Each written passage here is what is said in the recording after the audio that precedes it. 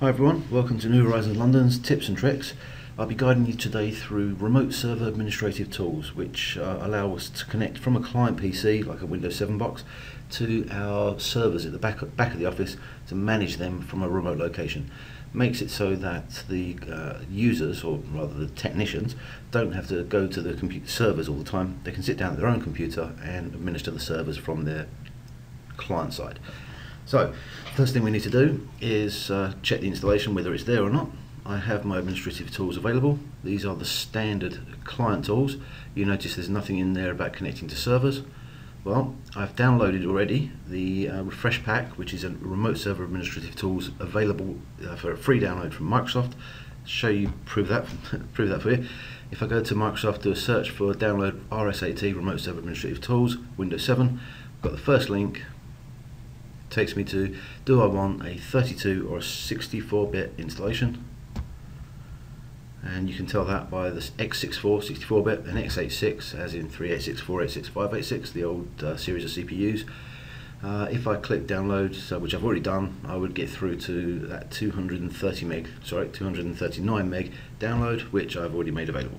So uh, before we carry on and uh, kick that off I want to show you where that is available. If I go to my admin tools excuse me, if I go to my default programs, oh boy, no, just one programs, and I go to programs and features, and turn Windows features on or off. So, if I've uh, run this program, it makes this set of tools available, which uh, was not there originally.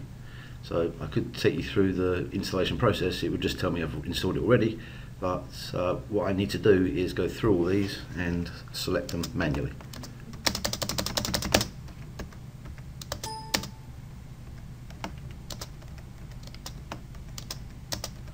Yes, there is no way to select them one all at the same time.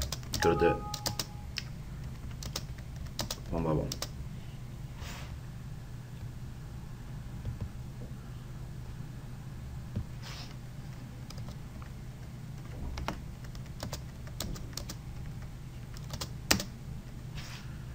Okay, say okay to that. I'm going to pause the video while that uh, kicks off.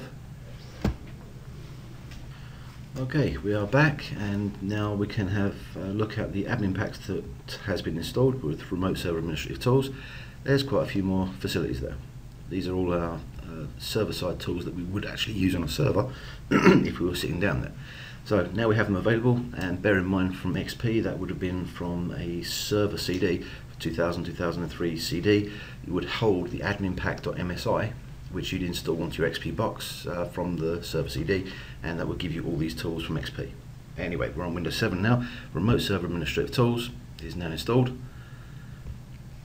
and I thought that would be something worthwhile for you to see. I'm not going to connect up to any servers, that's uh, for another lesson.